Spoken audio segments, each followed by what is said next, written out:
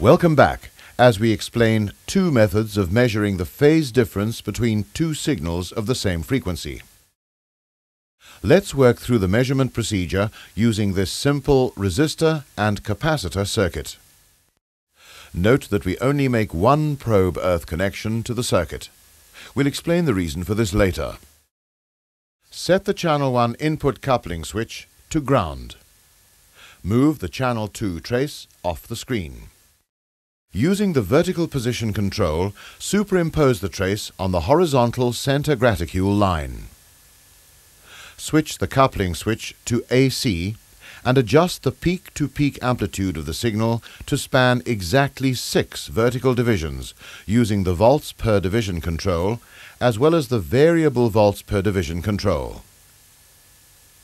Position the start of a cycle on a suitable vertical graticule line as shown. Using the time per division control, together with the variable control, adjust the period of the signal to span exactly 7,2 horizontal divisions. This sets up channel 1 as the reference trace. Note that one cycle of a waveform represents a 360 degree period, and 7,2 divisions equals one period or 360 degrees. It follows that each division then represents 50 degrees, and each subdivision is equal to 10 degrees. Bring the channel 2 signal back onto the screen, and using the volts per division, the variable volts per division, and the vertical position controls, set the peak-to-peak -peak amplitude to span exactly six vertical divisions. Now measure the horizontal distance separating the two signals using the graduations on the horizontal center line as an accurate measuring scale. This distance represents the phase shift between the two signals. The calculation is as follows. 8 subdivisions times 10 degrees per subdivision equals a phase shift of 80 degrees. In conclusion, channel 1 leads channel 2 by 80 degrees or the voltage across the resistor leads the voltage across the capacitor by 80 degrees. Another method of measuring the shift between two sinusoidal signals is called the Lissajous pattern method. The scope setup is almost identical to the setup described in the previous sequence, with the exception that the horizontal time base is switched to the XY mode by turning the time per division control fully clockwise. A trace appears on the screen whose shape is dependent on the phase relationship between the two signals applied to the scope. To measure the phase shift, set the channel 1 input coupling switch to ground and adjust the vertical trace to span exactly six divisions, three above and three below the horizontal center line. Then set the channel 2 input coupling switch to ground and adjust the spot to dead center.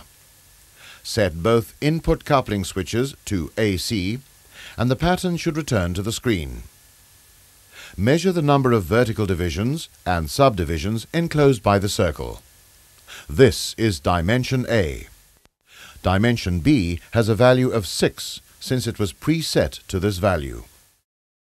To calculate the phase shift, the formula is phase shift equals sine to the minus 1 a over b, or we may say the phase shift between the two signals is described by the angle whose sine is equal to the ratio of a over b.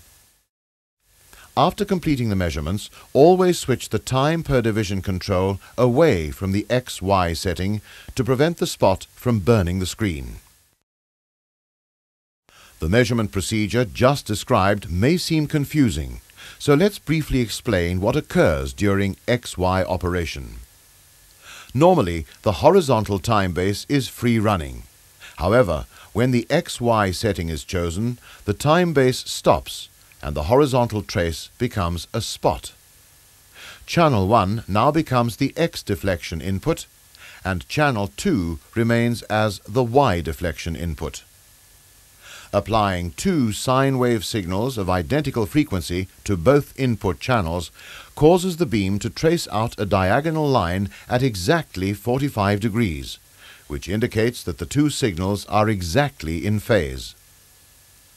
By switching channel 2 to the invert position, we observe that the pattern changes to a diagonal in exactly the opposite direction, indicating that the two signals are now 180 degrees out of phase or exactly opposite one another.